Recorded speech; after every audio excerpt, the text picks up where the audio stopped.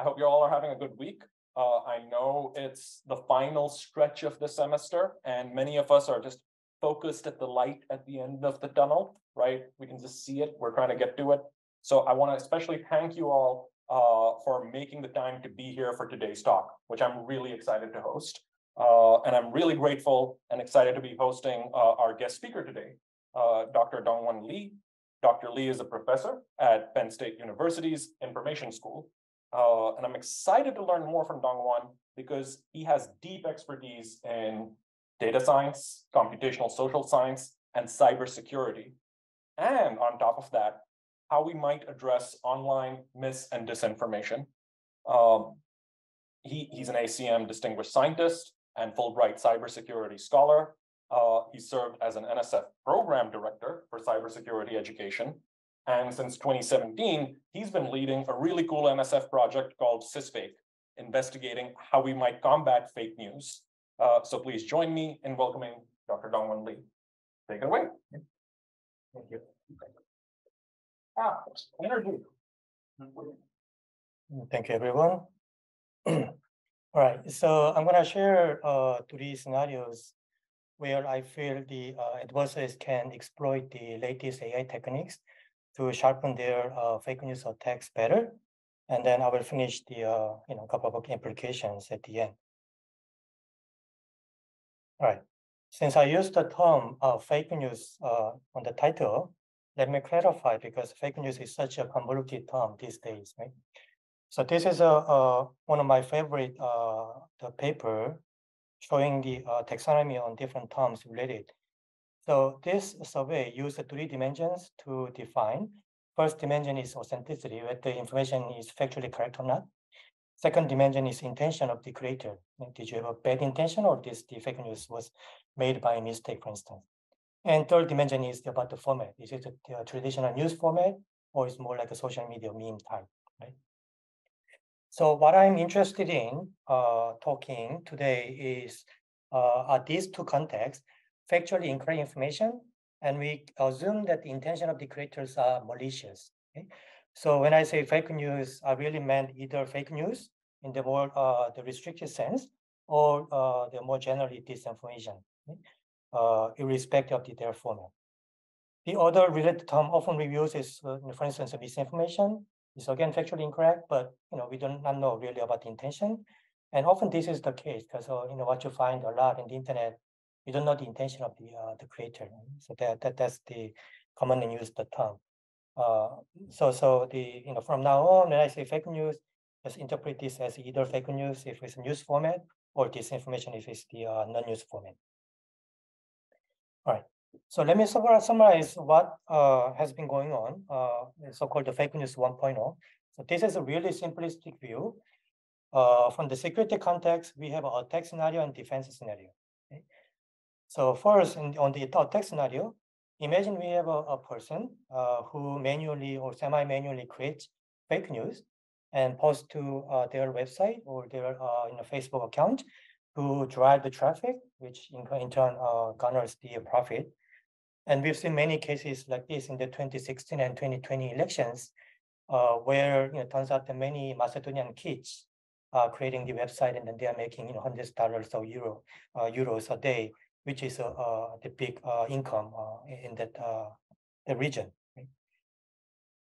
Another scenario, we have a bit more sophisticated actor who have resources and skills and they can create the fake news, but their main interest is spreading fake news on the social network. Okay. So these are two really simple scenario on the attack side. On the defense side, again, we are not sitting either. Uh, you know, people have developed uh, different types of the fake news detectors, and they launched it. Then you know, the, those are running to monitor to uh, flag the any questionable content. Similarly, uh, virtually all social platforms has a, some sort of in-house solution to monitor and detect the social bot and social farm because there are you know uh, thousands of thousands of the fake accounts there.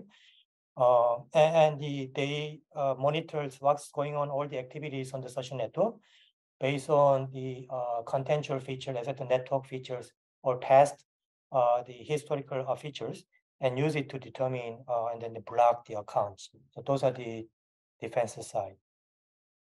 So to this landscape, my project asked the following question. So suppose all these fancy AI techniques are available, not just to us, but to the adversaries as well, whoever skills as well as the money, resources, right? Then what could they do? So we try to preemptively come up with the plausible scenarios, uh, and then you know come up with the uh, potential solutions, and hopefully to raise awareness, uh, and then you know uh, notify to the uh, stakeholders. So that's the uh, goal of this project. So this new landscape where um, the adversaries can actually explore, exploit the advanced AI techniques, let's call this as fake news 2.0. This is not term that I coined, it's just people often use it. Like it's more personalized sophisticated, more optimized, and uh, more the, the evadable uh, fake news is known as the 2.0. So I'm going to present the three uh, scenarios. First, instead of the Macedonian kid manually create the fake news, what if the machine auto create the uh, artifact? Uh, then what will happen? So that's the first scenario. Second scenario is I'm making 100 uh, euros a day, a month, and then suddenly my fake news website and accounts keep getting blocked. So I cannot make money, right? So what can I do? I could hire hackers to attack the ecosystem of a fake news detection so that the detection mechanism no longer detect my fake news. So that's the second scenario. Third scenario is now I have uh, the I'm the adversary with the skills and resources, and I want to use AI technique to strategize my spreading of the fake news so that I can maximize my influence while minimizing my, my detectability. So those are three uh, scenarios. So let me elaborate uh, one by one, but I'm going to focus more on the scenario one and then scenario two and three. I will uh, stay at the high level and just, just to try to convey the main uh, intuition there. Okay. So, you know, we've all heard this term deepfakes. Uh, roughly, this is acronym between two terms, deep learning and fakes. So it just refers to any artifact that's made by or substantially enhanced by the uh, AI techniques, especially deep learning. And it comes in, in all different forms. It's the text, images, audios, uh, you know, the, the videos, or even the hybrid of it. Okay? And roughly speaking, within computer science, we've seen a lot of advancement uh, in two sub-communities, NLP for text and the uh, computer vision or computer graphics for uh, the multimedia uh, deepfakes. So let me share a few examples uh, of these deepfakes. So here I present you 12 uh, human faces. this is a mixture of the deepfakes as well as real human photos. But there are two real human photos. I don't know if you can guess which ones are those two real human photos. Number six might be real. Number six, okay, because I mean, if something fast. It has a studio background. I see, okay. So the, it has a studio background, so that's a fair fair reason. Any other guess? The first one as well. for the same reason. Number nine, okay. So, you know, the truth is, if you are not the trained uh, media forensic uh, eye, then this is virtually impossible, right? So you made the right guess, but actually the six and 12 uh, real human photos, they are my graduate students. The remaining tens are uh, photos of the non-existing people. So if you go to this website using the one of the GAN algorithms, page after page, they show the stunning human faces, right? Now, this is a scary because, you know, we can, the machine can generate the images that we cannot really differentiate. But yet also there are the benefit, right? So for instance, if you need to use IP-free human faces for article, then this is nice uh, resources. Okay. What about the audio? effective immediately. I request President of Penn State University to double Professor Dongwon Lee's annual salary. So you can guess whose voice I'm trying to mimic here, right? Right. So I didn't uh, purchase it. I just used the free version.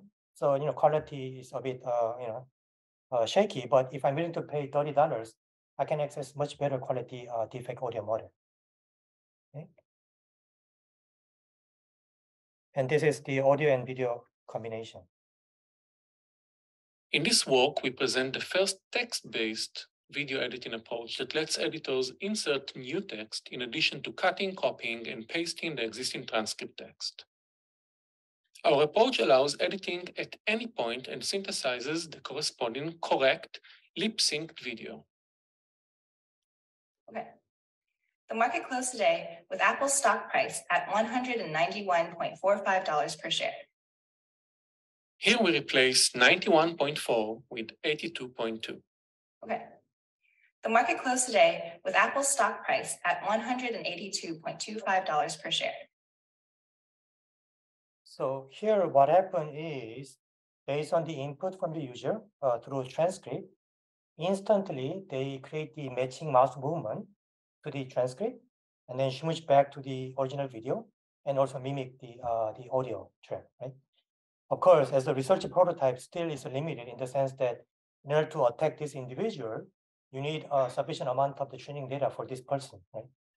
Uh, but you know, if you're a celebrity or politician and you go to the YouTube, you can very easily you can access the hours of the video. So virtually now we have a techniques to make someone say something they never say and vice versa. Okay.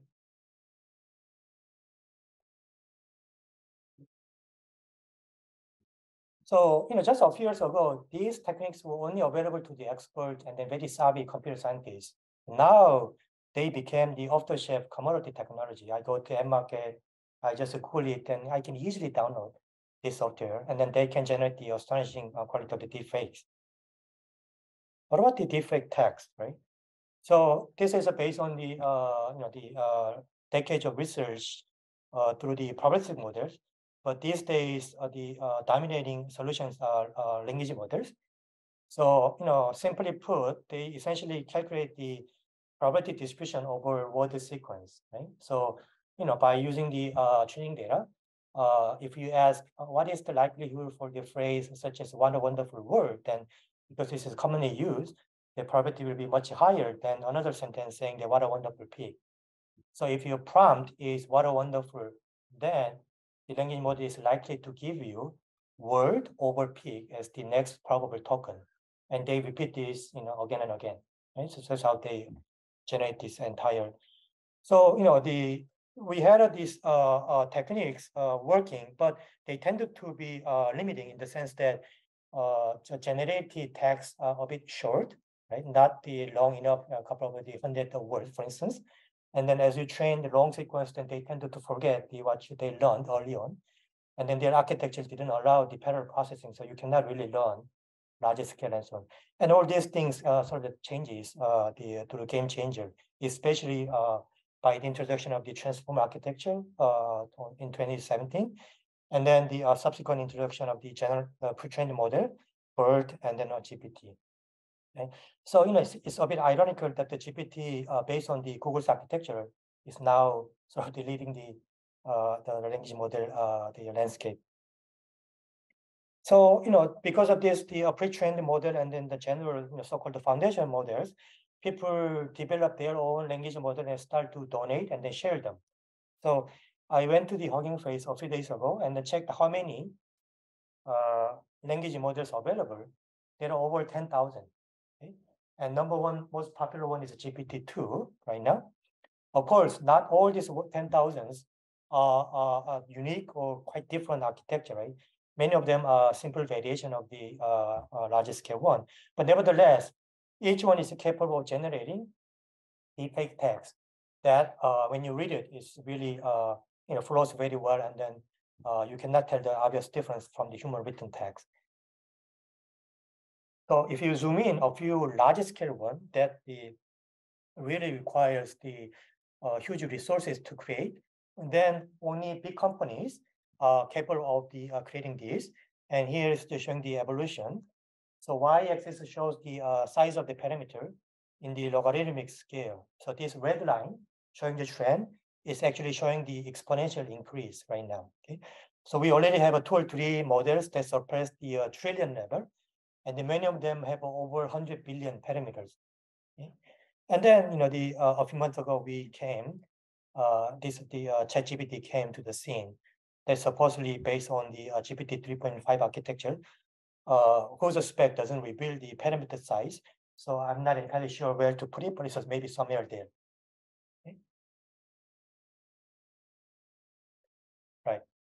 So this is the article that one of the language models generated around the 2020, so three years ago. The theme of the article was the robots come in peace. So if you read it, then you know you don't find the obvious grammatical errors. Things flow very well, and everything is sticking to the uh, theme of the robots come in peace. So very well written uh, essay.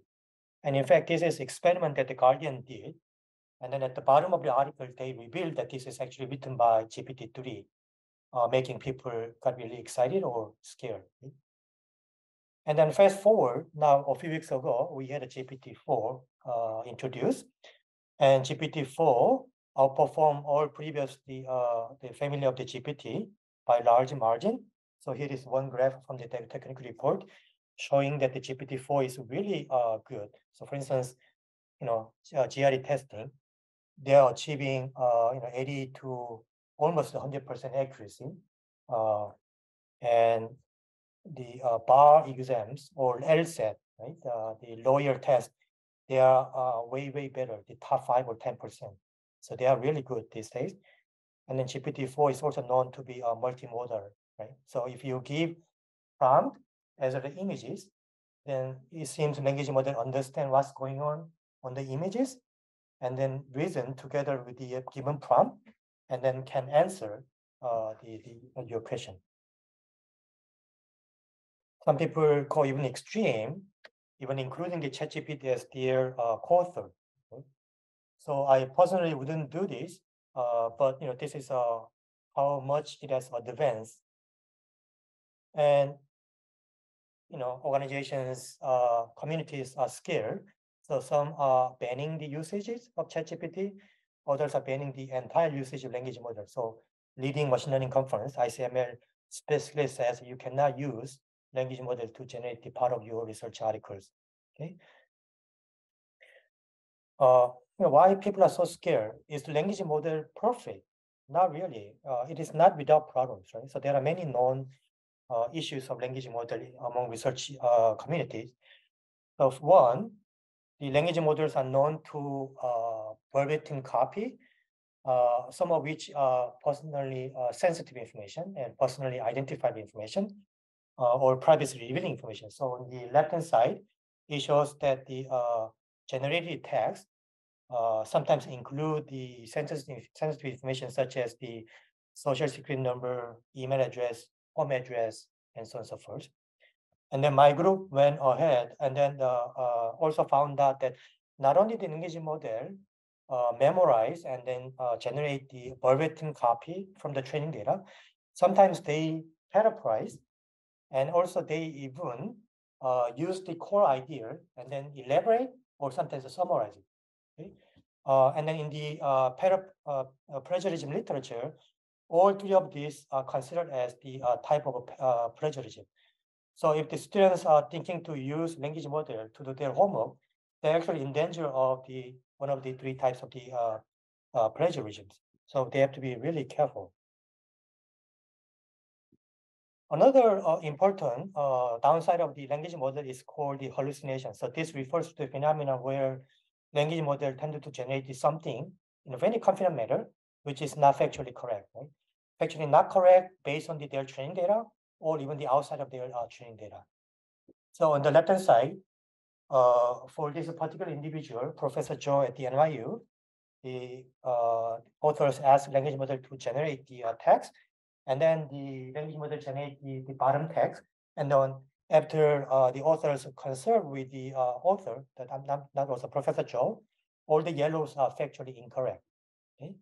Uh, and on the right side, right hand side, after ChatGPT was introduced, actually uh, some people tried to ask ChatGPT to generate the fake news directly.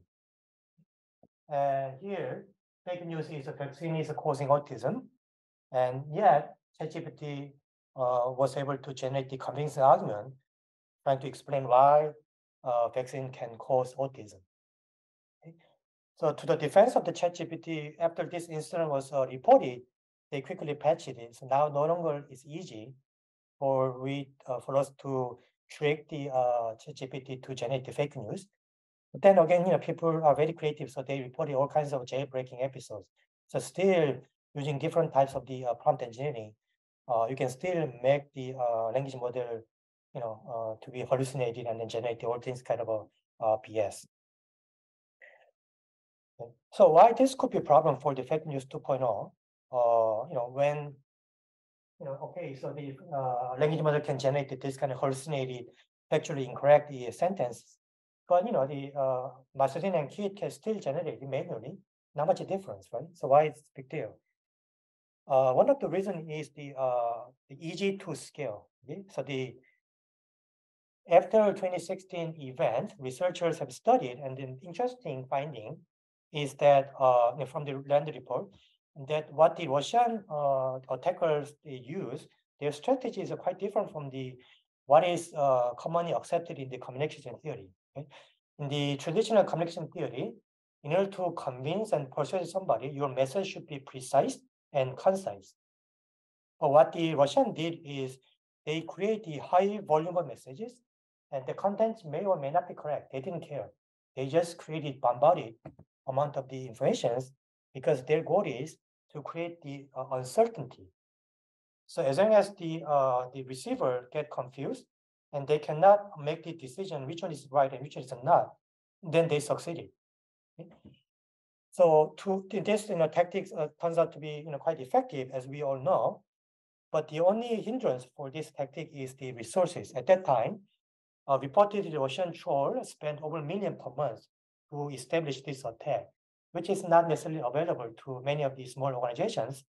And now with the introduction of the language model, if I'm just happy with the uh, pre-trained model, it costs zero dollars, and it can just you know, spit out the uh, hallucinated factually incorrect information after again. okay? If I want to even make it more sophisticated, then now the we have uh, known ways to train uh, the language model with the you know, GPT-3 kind of a, a parameter size for fraction of cost that uh, OpenAI spent. So it's now doable. Okay.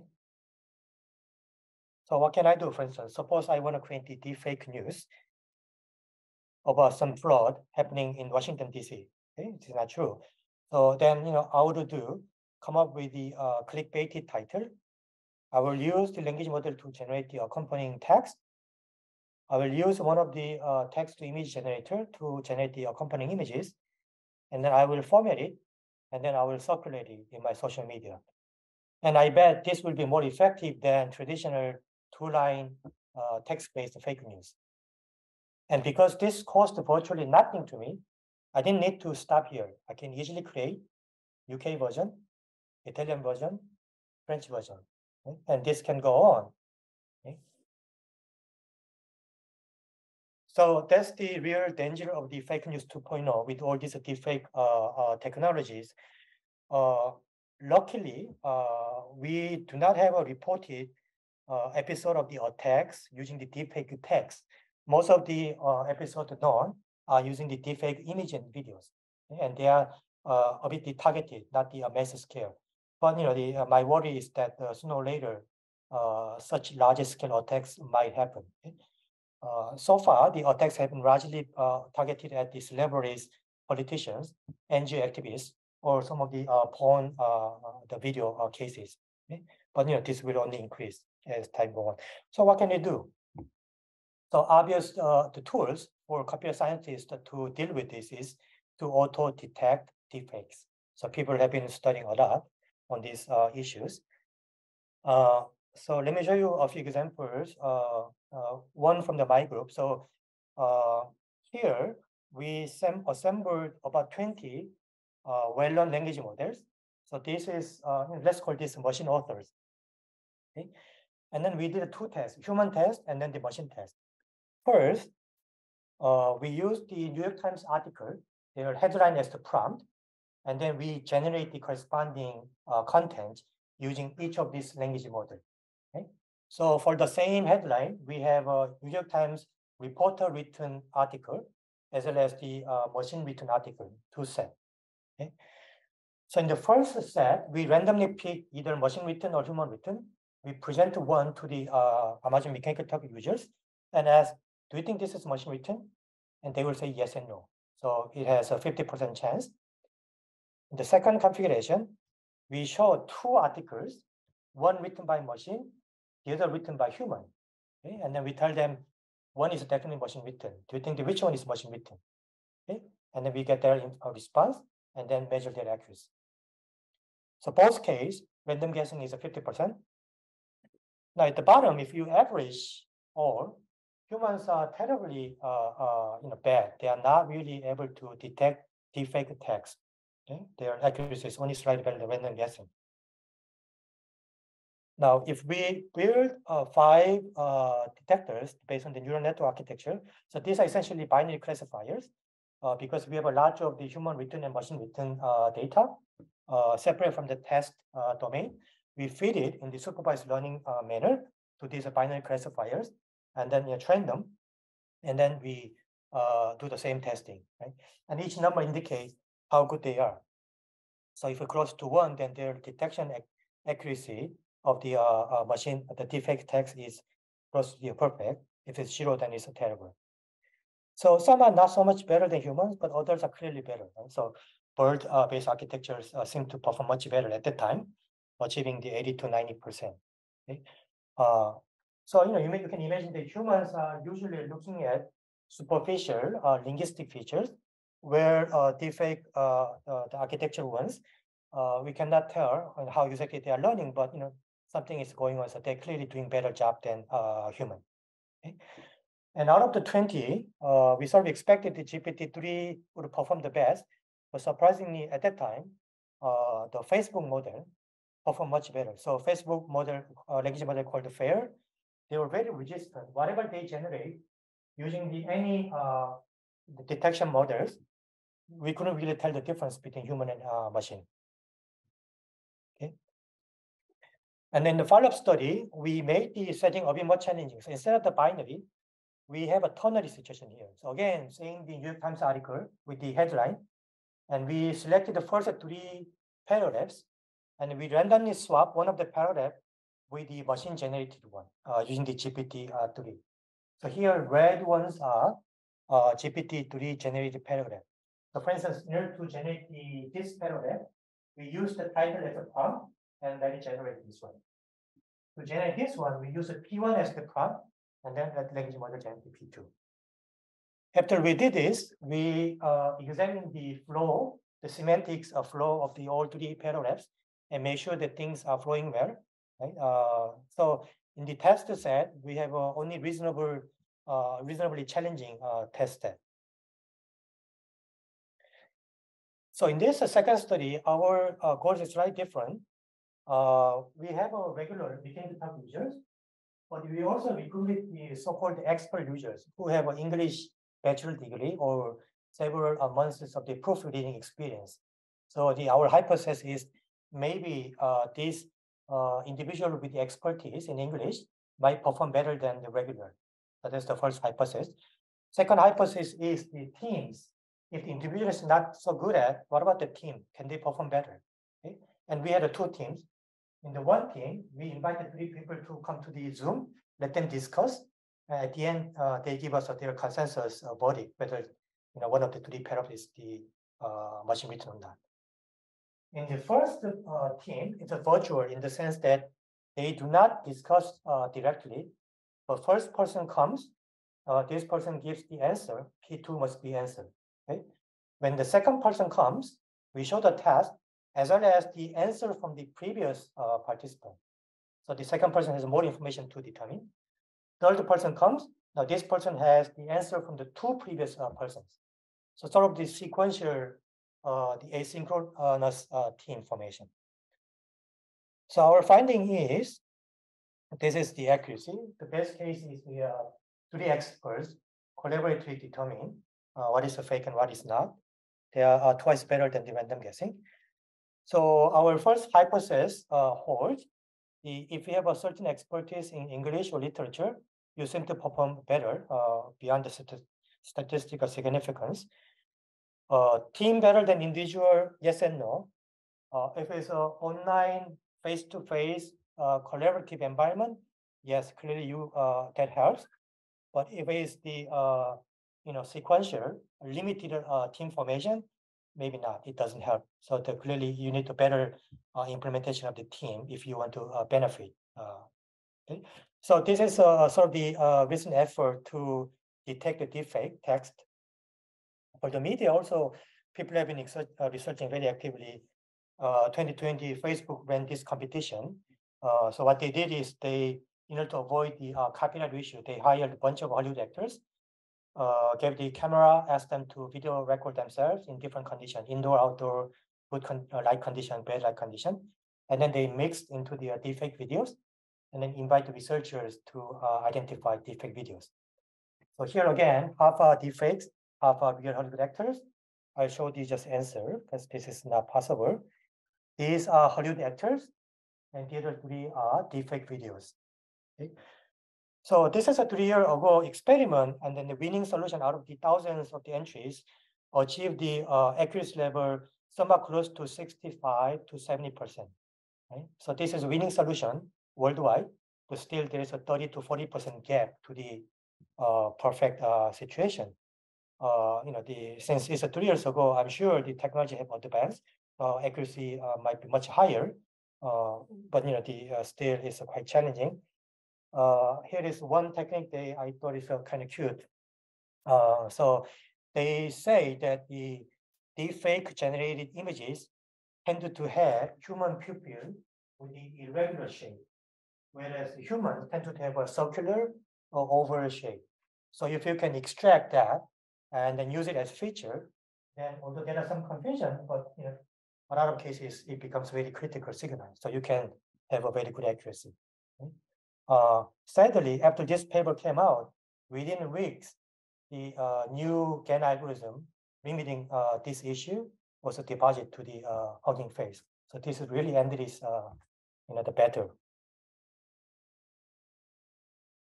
Okay, so that's the first scenario on the deepfake, uh, the artifacts. Second is the uh, when adversaries are attacking the fake news detection ecosystem.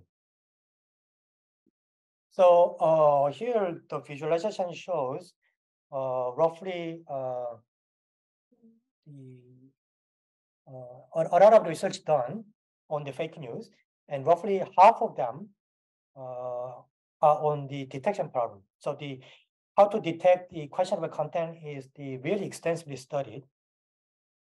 Uh, even in my group, we had a couple of solutions. For instance, this one, we the hypothesize that when questionable contents are circulating in the social network, sometimes users refute and they give the signal why this is true or why this is not, uh, not true. And if we can identify such refutation messages and link it back to the questionable contents, then not only it helps us to detect the fake news better, we can also use this as a way to explain why this is fake or why this is true. okay? And then we achieve the uh, reasonable success here. And then in the subsequent research, we also uh, try to apply this into the uh, medical domain. But you know, the the in the medical domain, what we found out is that unlike the social media and the Twitter, uh, unless you have expertise on certain uh, you know medical field like uh, diabetes or COVID, people rarely uh, leave comments. So there are not many reputable messages we can use it. Right? So to, in order to apply the previous idea, instead here we use the knowledge graph as the sort of the auxiliary uh, structure, but exactly the same idea. In the knowledge graph, by doing the uh, link prediction and the node prediction, we're trying to identify uh, some some triplet that is helping us to identify the factual uh, the veracity and also the explain uh, things better. So so we uh, show that, that this can be done in the medical domain using the knowledge graph. And there are dozens and dozens of the fake news detection models out there. Right? And you know, outside of research community, social platforms they all have in-house teams, you know, hundreds of people, uh, and they own the uh, algorithms implemented. So here the screenshot shows the Facebook's attempt to uh, deploy uh, this kind of detection models. So now uh, the I am the John Doe, Macedonian and I do not like my fake news. Uh, they're getting the detected and my account get blocked, right? So I'm gonna hire somebody who attack the fake news detection mechanism such that existing detection uh, mechanism will now say true news as a false and then false news as true, right? So it doesn't uh, function anymore. So it will lower the reputation of the existing uh, fake news detection ecosystem. Okay, so you know how do we do it? Uh, again, the idea is really simple, and then it is the uh, adapted from the security uh, literature. So you know what is going on in the uh, latest state-of-the-art fake news detection models is that uh, you know here screenshot is showing the typical Twitter. So you have a, a headline, some embedded images and content, and a lot of the user engagement at the bottom.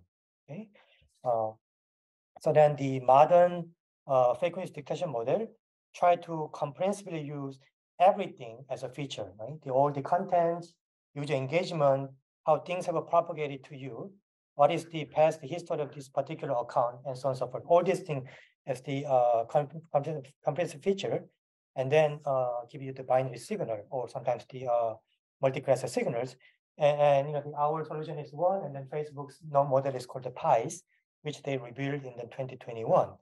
So I want to attack this scenario. The, the hacker wants to attack this scenario by modifying some of these. So if I modify something here, it uh, propagate to the uh, feature as the poisonous features, then eventually confuse the fake news detection model, and then will mess up this uh, classification. That's the idea.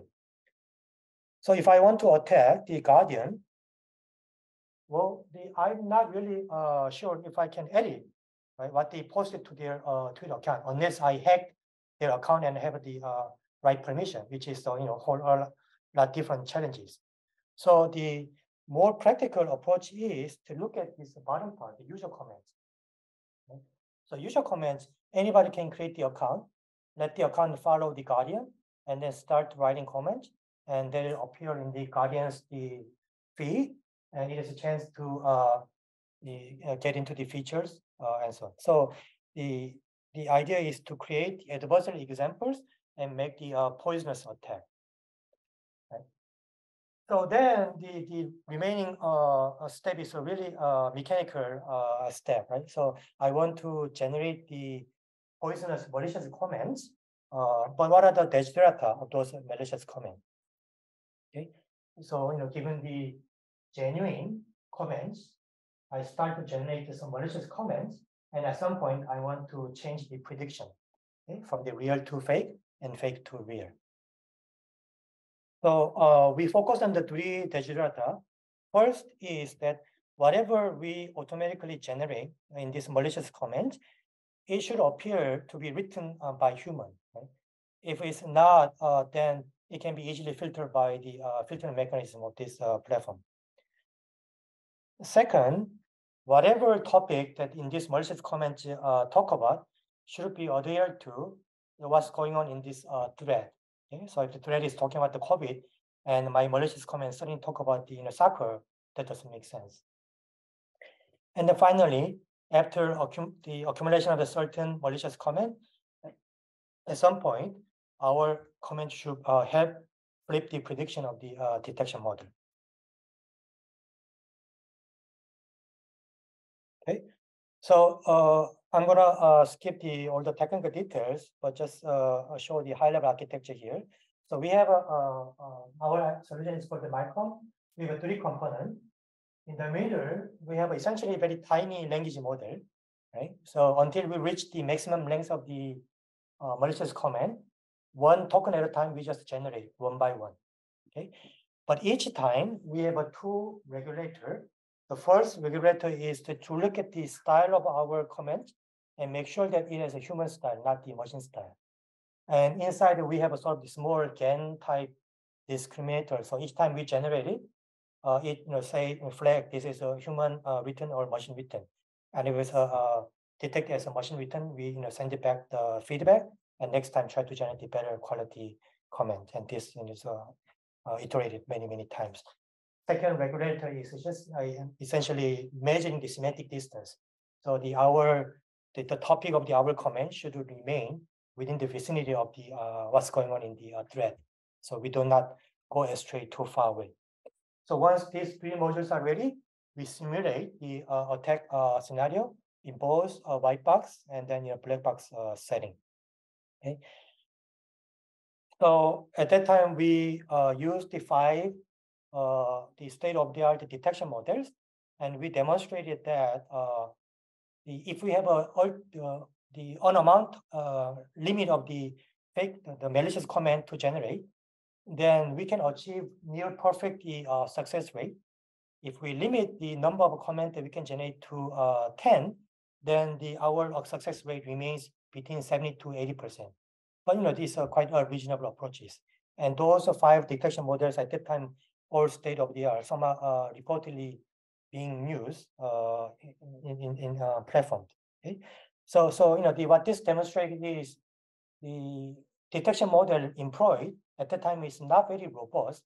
It's possible to compute them and actually uh, you know make my Macedonian website still remain avoiding the uh, uh, the detection. And as I look at the uh, this year's triple W uh, proceeding, I see the one word, uh, essentially the same idea. So they also argue that you can confuse and attack fake news detection models by manipulating some of the features. In their case, instead of us manipulating the user comment, they manipulate the uh, the network features, especially the uh, social links. Okay? So they create the account, let the account, uh, you know, they follow or engage in the uh, different kind of uh, edges, thereby creating confusion in the uh, network model, and then achieving the very similar result as us. So uh, I'm, I'm glad to see another work with a similar idea, demonstrating that this kind of attack is entirely possible. We reported that problem to the Facebook at that time. I'm not sure if they ever uh, you know, address it in their uh, deployed system or not. Okay. Third scenario is the uh, where adversaries strategize the spread of fake news. Um, so you know, the imagine that you are more sophisticated state-backed actors. You try to spread the uh, disinformation. However, uh, every now and then your social bot accounts get detected and then blocked. Okay, so you have these two goals. You want to maximize the influence. In our context, this means that you want to spread fake news better, you know, further, broader, deeper. That's your goal. But also, you do not want to get detected uh, because creating and maintaining social bot account is quite expensive.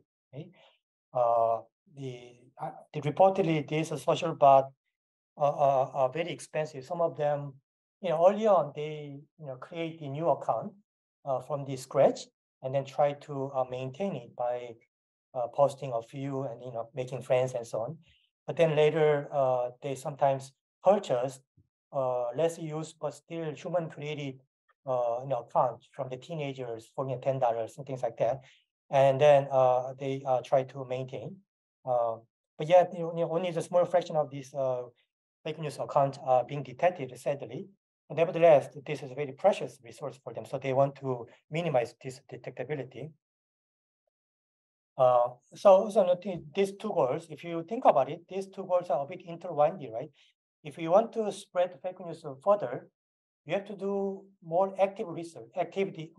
You have to do more activities, right? You have to post it, you have to make friends, you have to retweet, and so on and so forth. Okay? And as you become more active, your chance to get detected by detector also increases. Okay. So if you want to behave, it's better not to do anything, but then you're not achieving this goal. If you want to achieve this, your likelihood to get detection increases. So this is sort of the contradicting goal. So how do we achieve this as the from the adversary's point of view? That's the research question. So we uh, use the reinforcement learning framework to address this one. Uh, again, uh, without going into technical details, let me show the uh, intuition using the toy example. Okay, so imagine this kind of a social network. It can be Instagram network, it can be Twitter network. Uh, in our case, we use a Twitter uh, like network as an example. Uh, to study this problem, we need uh, some sort of the uh, inference model. So we use this classical one called the independent cascade model. This is a well accepted and heavily used model in the network science type literature. You know, it, has only a few the assumptions like every node can be either infected or not infected to status, and the probability to infect your neighbor is you know, the, this, the proportionally uh, to the uh, number of the links that you have. And as you go further away from uh, uh, node, your probability becomes smaller and smaller. So it's a very uh, small number of assumption. Uh, each of them is very intuitive model. So here I create the, or I have a fake news account. Now using this account, I want to spread fake news uh, better. Since nobody is uh, uh, following my account, I cannot spread it initially. So I have to first recruit somebody to follow me. Okay. The first decision is out of the millions of the node, which node do I need to approach it and try to convert to my follower? So that's the first decision point. And depending on your decision, you might have quite different consequence. Okay, so suppose I targeted A for whatever reason. Okay, and A seems to have only one follower currently. And then second decision point is social platforms allow you to many different types of activities, and each activity has a different again the consequence. And out of these activities, what will you do it to get the attention, right? And on the platforms such as the Twitter, for instance, you can tweet, you can retweet, mention, reply, and so on and so forth, right? So suppose I first decide to mention A to get the attention like this, and then somehow A noticed and then decide to follow me back. So now I establish a link. At this point, if I have a fake news, post it, it will naturally go to A's time feed. And since A also have a follower, it will go to uh, uh, B's time feed and so on and so forth. But as you go further from A, it will become uh, less and less probability. So, so one uh, critical uh, the issue is if you want to really maximize your influence, it's good to have a good network of followers. Okay, so that's the uh, critical objective. But suppose instead of A, you decide to convert to B instead. Okay, and here, B has four followers, but imagine that there are uh, hundreds of the followers for B. The B is will be more popular, uh, more influential uh, user in this network. Okay, so I did uh, some some action, and then now B follow me back. So I established a link, and then if I post my fake news, it will go to B, and then it will go to hundreds of B's followers, and uh, so on and so forth. Okay, so when you compare A and B, uh, in terms of influence and the magnitude, B is probably better candidate to convert than A, because you know I was able to uh, maximize my influence. But in order to convert B, what uh, did you have to pay? Right? For the A, I just did one mention, and then uh, B, uh, and then B follow me back. But for B, because B has hundreds and thousands of the followers, very busy influ- influencer, unless I do my due diligence and homework, probably B will not notice me, and then very less likely that B will follow me back. So I have to do lots of lots of uh, due diligence to get the attention. And then even further, if the B is Elon Musk, no matter what I do, he will never follow me back. So some uh, users, uh, there's a, a zero chance to convert. So the decision making that who you try to convert and what action you will uh, take have uh, the stark consequence to your two uh, objectives here. And then uh, many state-of-the-art social bot detectors, they run in the batch mode. So like in the Twitter, let's say every 3 a.m., uh, they run this detection model, identify some account, and then they block them. And many of these uh, detection models monitor all the activities that you did. And then if I just do one mention, then maybe it looks legitimate, that's fine. But if I do thousands of the actions to get the attention from the Elon Musk, then I become very suspicious and become vulnerable to this uh, social bot detection. Okay, so connecting with the influential user immediately give me the better conduit to influence my messages, but also becomes very risky. So this is a strategic decision uh, to the adversaries. So with this understanding, we uh, developed this architecture called ACON. Uh, so we have a, a- we just use the hierarchical reinforcement learning framework. So we have a two agent. First agent uh, decide which action should take, and there is a, a reward for each action. And the second agent decide which user to contact and try to convert. Okay, again, there is a, a, a different uh, the the reward. Okay, and then we try to optimize. Uh, so, for instance, one reward function that we can optimize is the number of users uh, that can be reached through the propagation. So uh, we let the agent pick one type of users and one type of actions, and then we uh, calculate the reward or penalty. We share this feedback to the agent, and we repeat this thousand times, and hopefully, uh, the over time, the agent becomes smarter and smarter, and they make the better strategic decisions. So at the end, uh, we uh, were able to achieve that uh, the new the spreading uh, algorithm based on this framework can increase the network influence by 18% and then uh, reduce the detectability by 40%. So this could be quite an effective tool for adversaries if they want to deploy it. Right, so let's uh, wrap up. Uh, so I presented three scenarios. First scenario, uh, machine can uh, create artifacts uh, to create the confusion. Second, uh, the AI machines can uh, attack the fake news detection ecosystem, thereby the, the confusing the they causing the confusion again. And third, they can strategize the spreading so that they achieve their goal without being detected. Okay. So, you know, fake news 1.0, as I showed the uh, visualization early on, we have a uh, the lot of researches. If I just go to the arXiv again, just a search uh, research article with the fake news uh, inside a title, I have this many, right? So there, this is really active research field. And some of the recent solutions are claiming that they have 95% uh, accuracy. Some even achieved 98, 99%. So very accurate in their claim. Uh, how they actually uh, perform in the wild, that's a, different question, but at least in the research article, uh, we've achieved very good uh, performance. So does that mean that uh, fake news 1.0 is largely solved?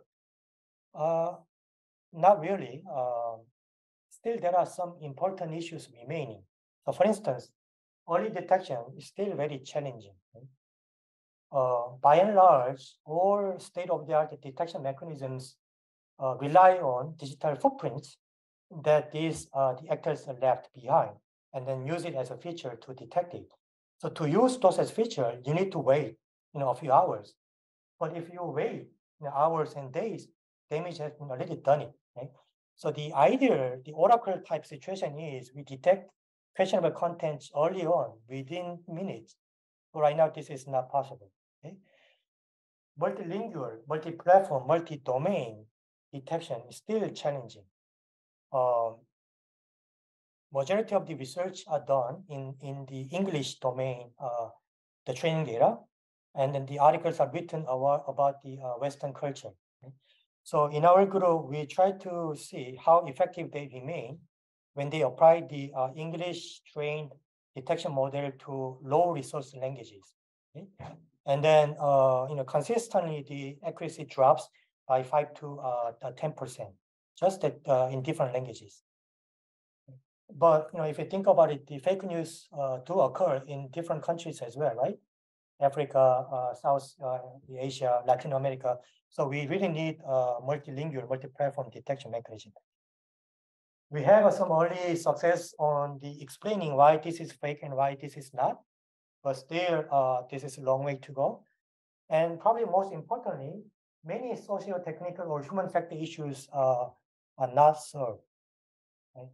Uh, at Penn State, I did one experiment. I had uh, our uh, lab-built detection model detect some uh, fake news, and then we present that to the uh, students in my classes. Right? So the detection shows that this is fake news with the you know XY percentage of the certainty and so on and so forth, detected by this algorithm, lots of details. And we asked the two questions. Would you agree that this is fake news or not? Okay. Two, are you willing to share this in the social media? And what we found out is no matter how accurate the, our detection shows, students are not readily uh, sometimes students uh just have a you know prejudice or they, they have a different political agenda or whatever reasons, right? And they uh don't buy that this is fake news and they're still going willing to share. So how to present and make the people to accept something is true, something is fake, and even further change their behavior. This type of intervention is the you know uh, vastly understudied and uh, important problem. So personally, I feel the fake news 1.0, we do not have a complete solution yet. And then now we have a fake news 2.0, right? So this makes the problem even more challenging. Uh, before, if something is the uh, you know the debatable, at least we agree on one thing, which is if I show you the news article saying that this person says so, right? Then you agree. But now, even if I show you video clip, you can always say it could be deepfake. okay?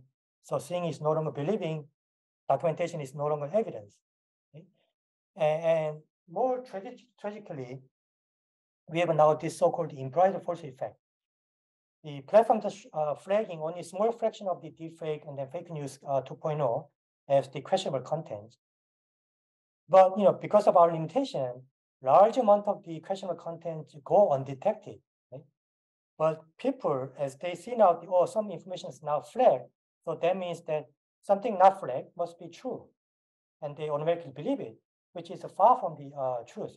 We are flagging only the small fraction of the uh, questionable content, and this is a quite uh, disastrous uh, phenomenon is happening called the implied false effect. Okay? Uh, so this caused the confusion, and some people get into this uh, status of the reality apathy. If you cannot tell which is true, which is not, you tend to resort to your old uh, belief and just you know to not want to uh, uh, reason about this the veracity. And we have to be mindful that whatever technology advancement that are available to us are also equally available to bad guys too, and they are smart, they are technically uh, skillful, and they have resources. So you know they are able to generate the better quality uh, undetectable fake news 2.0. And you know, we need more research, but this is endless uh, cat and mouse typical scenario scenario. Okay, at the end, who will win? We will uh, see. But this is uh, uphill battle. It's not necessarily uh, easy. Okay, so that's it that I want to uh, share today. Thank you for your attention. Um, if you have any questions, I'll be happy to uh, share.